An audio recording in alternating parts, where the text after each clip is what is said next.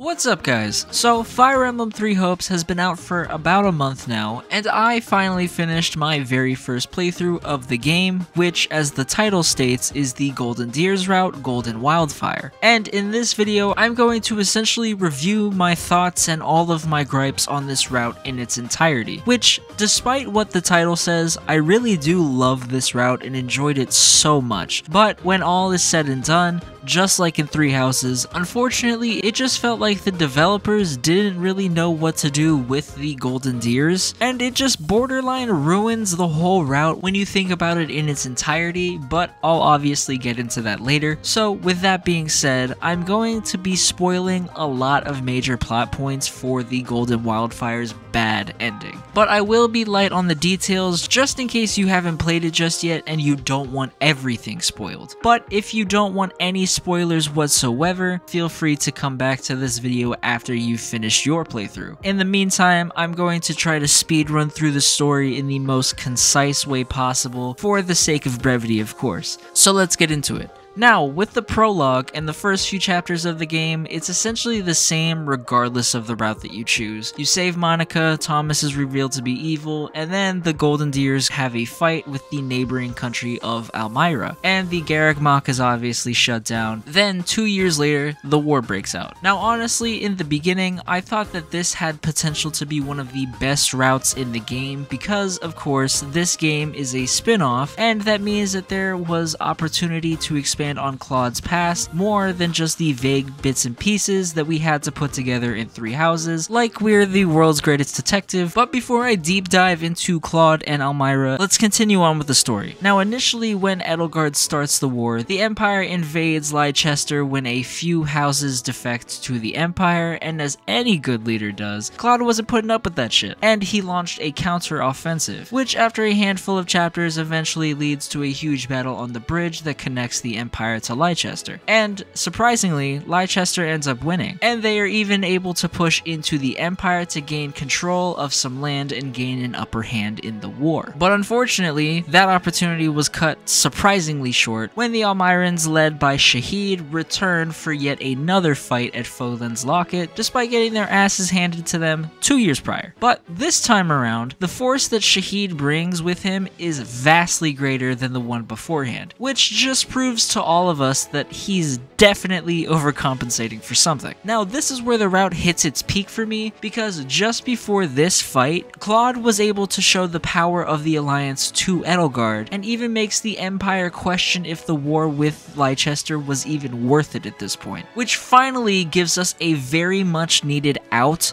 of the war. So Claude and the Alliance are now perfectly set up to go ahead and just explore Almyra and focus on the backstory of Claude. But for whatever reason, they didn't take that opportunity. I feel like it's such a confusing decision in hindsight. And originally my response was, okay, that's a little weird, but now we at least get to return to conquering the Empire. But instead of that, immediately after the fight with Shahid, well, not really immediately because there was a weird 8 month time skip that really had no effect on the plot of the story whatsoever. And I know that it was just the Alliance becoming the Federation and Claude officially being given the title of king even though he has always been a king in my heart. But all jokes aside, Claude goes to Edelgard despite having the upper hand in this situation, and he goes to her without having a single demand whatsoever. Like, he genuinely didn't ask anything of Edelgard whatsoever. He didn't ask for any land, any resources, or to just be left alone out of this war. I personally would have been happy if he asked anything. Like, it could have been something as simple as having Ferdinand cut his hair so Claude has no more competition for best hair in the game. I mean, of course there is Dedue, but he hasn't seen Dedue at this point, so... But instead, as I said, he asks absolutely nothing of her, and just agrees to join her war with Faerghus. and afterwards, Claude discusses the whole situation like he barely had the right to approach her in the first place, which he literally was acting like he didn't have Edelgard in a metaphorical chokehold because of the fact that his forces were occupying the Empire's biggest food source. He literally could have asked anything of her, and I genuinely just don't understand the decision behind that narratively or otherwise. Both the, oh, we're losing this war even though we're really not, but let's put this all behind us and forge an alliance with the people who started the war in the first place. And also the decision to partner up with Edelgard at all, especially when you consider that though it is revealed later that Claude actually agrees with Edelgard's rhetoric about wanting reform to the crest system, at this point in time, we don't know his stance on this. We don't know his stance on any of this situation outside of the fact that he just wants this war to stop as soon as possible. So, if he doesn't want this war to go on any longer, why doesn't he keep pushing deeper and deeper into the Empire's territory? Because he totally can, until the point that Edelgard has no choice but to listen to his demands and end the war, despite the fact that she doesn't really want to. But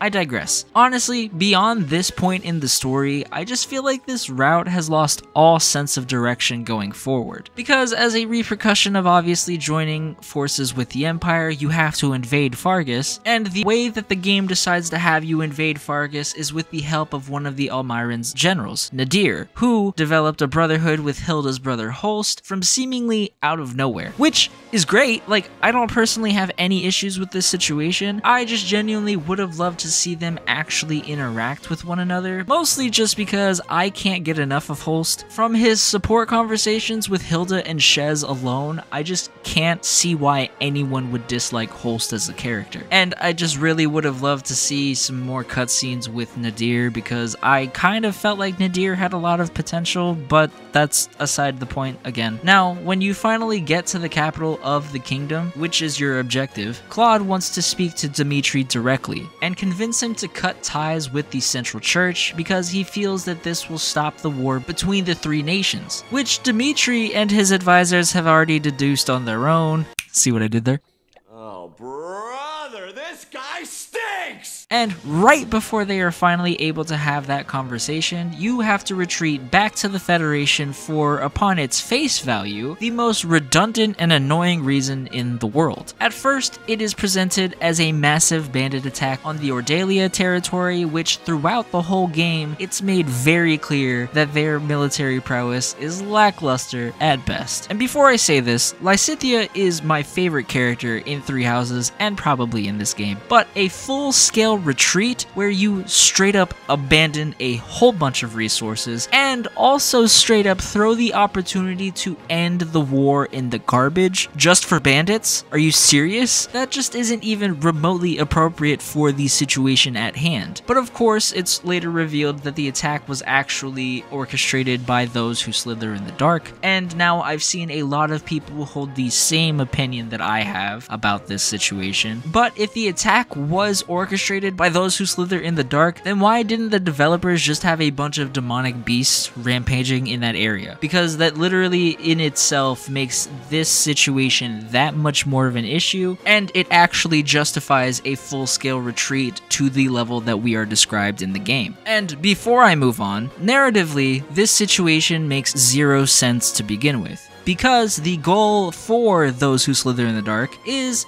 they want to destroy Rhea, Seteth, Flayn, and everybody else of their race. So, if Claude manages to get Dimitri to stop defending the Central Church, then their goal will become achieved that much faster because both the Federation and the Empire can just focus all of their efforts on killing Rhea. It's just such a weird decision that's made by whoever wrote this story. Personally, I feel like at most, if this decision was made just to extend the length of the game, just write it to whether A, Dimitri refuses Claude's proposition, and they have to fight a little bit more because that's the whole point of this game. And after said fighting, the reinforcements from the Western Front show up to save the day, which I'm pretty sure Sylvain recommended having reinforcements from the Western Front in that same cutscene that I made that terrible to do joke in reference to. So this situation is totally plausible. And look, we already have to suspend our belief that an entire army can move at the speeds that which it does throughout this entire route anyways,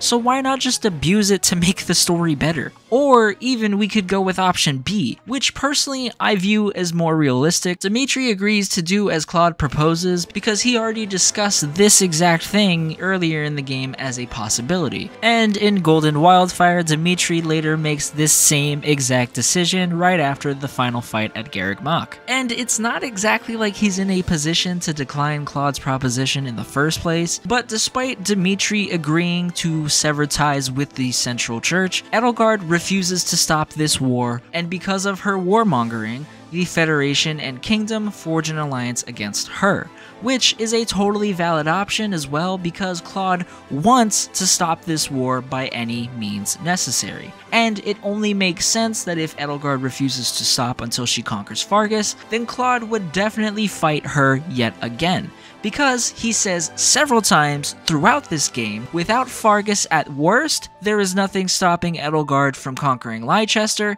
and at best, the Federation ends up a vassal of the Empire, neither of which is something that Claude wants and I so desperately want to talk more about Claude, but I want to finish my thoughts on the entirety of the story before I get to him, because with both the issues that I have with him and everything I love about him, it's a lot. Moving on. After successfully defending Ordalia's territory, we're informed that Edelgard is fighting a losing battle against the Central Church and the Kingdom, and Lorenz suggests letting her die, just like Claude decided to do with Randolph earlier in the game. And honestly, I'll expand on this more in the Claude section, but he definitely should have made the decision to sit this fight out. But because of one of the lamest and most disappointing character developments that any of these characters in these games have been given, he decided to back her up, despite the fact that letting her die is literally the better option, because it would end the war, and it's literally stated in the same exact conversation that the Empire would effectively fall apart without her since there is no heir to her throne. But maybe that's too easy of a way to end the war, what do I know? Following saving the day from the Empire's perspective at least, Dimitri retreats to the direction of the Western Front with Edelgard in hot pursuit, while Claude follows Rhea and the church as they go to the same field that just so happens to be where Seiros defeated Nemesis. And after Rhea makes her last stand, in what was literally the most heartbreaking fight of this game to me at least, because for a second I really thought they were going to force me to kill Mercedes, and no one wants to kill the most caring and pure character in the game. That's just cruel. But after getting baited into tearing up over nothing, and the fight was all said and done, in the bad ending of this route, the game just ends. Now, I think it's a little weird that the devs decided to lock the conclusion to the Those Who Slither in the Dark plot behind recruiting Byleth, because, excuse my French, but saying fuck the plot point that involves the literal whole actual reason for this war in the first place, that very same plot point, as if we didn't just defend Lysithea's territory from them, on top of Lysithia and Shez having a whole cutscene, having a conversation with Claude saying that they want to catch whoever is behind all of this so they can pay for what they did to Lysithea, as well as possibly fixing what they did, and so Shez can find answers to who they really are. But forget all the resolution to literally 50% of the game. You get revenge on Byleth and kill Rhea. Who cares about those who slither in the dark anymore, am I right? It's not like the protagonist and a Lord of Leicester need the resolution to their stories or anything anyways. And, not to mention, from the context of Three Houses, this would also affect Hilda and Holst, since Shambhala is also located in the vicinity of both their territories and Lysithea's. And on top of that, Leonie was pissed about learning this information information regarding Lysithea as well, so several characters don't get their resolutions to this specific subject whatsoever. And on top of that, there's other characters that this affects outside of the Golden Deers as well. And it's just super, super fucking weird to me that they would choose to cut this because of not recruiting Byleth. I don't know. But seriously, I feel like the proper bad end, and this is a hypothetical, and this hypothetical is all based on assumptions I am making about the good end, because I'm just assuming that Byleth is important to Shez not losing their shit. And if that's not the case, then it also makes even less sense that the good end is locked behind recruiting Byleth. But anyways, personally, since you killed Byleth, Shez just goes evil. That's the bad end.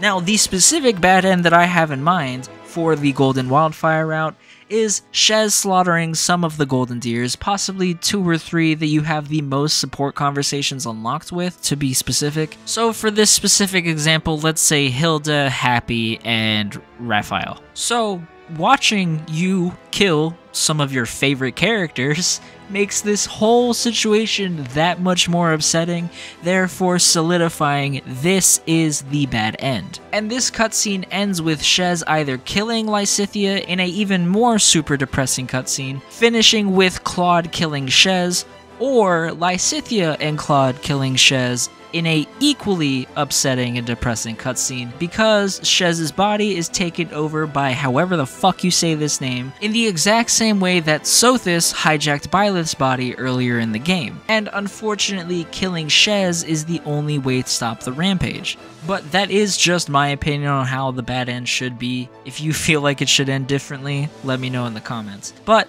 overall, I don't think that the Golden Wildfires story is terrible by any means. I just really think that they lost focus of what they wanted to do several times. And there are also some portions of the story that feel like they made changes to the story and just completely forgot to change the dialogue. One specific example is with Claude wanting to stick it to Dimitri before the Garreg Mach fight, saying something along the lines of, let's see if this will get through his thick skull. I feel like that was really out of place because he says that despite the fact that Claude was generally very respectful whenever he referred to Dimitri throughout this entire game, as well as wanting to stop fighting with the kingdom specifically above all else. I just think, as I said earlier, Golden Wildfire was just given the short end of the stick, just like with Verdant Wind, because they chose not to expand on the backstory of Claude, and they purposely have the Federation be on the back foot the entirety of the second half of the game, despite there actually being no reason for it. And all of those things combined just really killed the route for me, but its saving grace was honestly none other than Claude, and of course the rest of the Golden Deers. But if I wanted to get into the detail about everything I love about the rest of the Golden Deers, this video would literally be like 40 minutes long. But I am going to just stick strictly to Claude, because oh boy, did this character get fleshed out so much more in this game. And honestly, his character was a million, trillion, billion times better in this game than in Three Houses. That is just my personal opinion, but if you disagree, you're wrong. I'm sorry. Now, I've seen a lot of people say he was mischaracterized in Three Hopes. But as weird as it sounds, he actually was mischaracterized in Three Houses, according to the devs. Like, they toned his character back a lot for Three Houses. And I kind of see how this statement is valid because he felt really one dimensional in Three Houses, to me at least. But I also kind of feel like they toned him back a little bit more for Three Hopes for reasons that I will explain in a little bit. But despite him being toned down a little bit in Three Hopes, as I said, he's infinitely more enjoyable and just as interesting of a character in my opinion. So of course, he's extremely crafty, cunning as hell, and very mischievous. And that's what gave me so much enjoyment in this playthrough, because it always felt like Claude was playing 4D chess, while whoever the opponent at the time was is still playing checkers. A prime example of this is closer to the beginning of the game, when House Gloucester and Ordalia and a few others defect to the Empire. It was such an insane plot twist that the whole time it was actually Claude's idea to have them defect to the Empire so Claude could get the jump on Edelgard's forces. That moment was where I fell in love with Claude's character. The fact that he would take those risks without a second thought like that, where we all know Dimitri and Edelgard would never make those same decisions in a million years. On top of that, he also did it for the benefit of those houses, because if the Empire happened to overwhelm Leicester's forces, those several territories would never be touched. And it's so mind-blowing that a leader of a country would actually make those kinds of decisions. And honestly, I thought having a faction leader who would do whatever underhanded method they had to, to not only minimize losses, but also ensure the win was just such an amazing choice for Claude, and it became even more reinforced later in the story when we are sent to rescue Randolph and his forces from a losing fight against Catherine and the Church of Seiros. And Claude decides to use Randolph as bait, sacrificing him and all of the Empire's forces in the area to secure a victory, something that no one else would not only think to do, but also would not have the guts to do. Regardless of how detestable of an action you think that was, it's so true to his characterization in this game, and I love it. But in game, obviously, if you've played through it, no one else was having it. Throughout the whole fight, everyone was obviously pissed with Claude's decisions. I just want to say, by the way, this fight I am talking about is my favorite in the entire game honestly this it, it, i can't explain it enough. It was just such a good experience. I was genuinely in love with the thought of being an anti-hero faction with an extremely morally great leader. That is some serious distinction that i feel the golden deers route desperately needed. But unfortunately the devs decided to have claude do a complete 180 and only do the right thing whether it is a smart decision or not. And claude's new development was only reinforced by losing Judith when Randolph's little sister decided to retaliate. And unfortunately, that's the only issue I have with Claude's character. The fact that they made him the most unique that any Lord has been in any of the Fire Emblem games I've had the opportunity to play, and the devs decided to backpedal on it immediately and make him always base his decisions off of my friends will be mad at me if I don't do the right thing, which was extremely disappointing. I understand the motivations behind it because he does care about his friends above all else, but at the same time, he was doing all of this because of them in the first place, and I feel like since he's the king, he shouldn't really give a shit like Dimitri. Because yeah, sure, I'm suggesting that they copy paste one quality from Dimitri, but everyone loves Edgelord Dimitri, and I feel like Claude doing what he thinks is best instead of listening to what the Golden Deers think is best would make this story infinitely more interesting. And before I forget, this is less of an issue I have with Claude and more just the missed opportunity that I mentioned in the story section. But the fact that the devs made the conscious decision to be somewhere between a little less vague to arguably equally as vague about Claude's backstory was just I don't know if lazy's the right word, but that's all I can think of to describe it. Like, the most we got of Claude's origin was him calling Shahid his brother before he killed him. And we don't know if this meant brother as in Claude is also an Almyran prince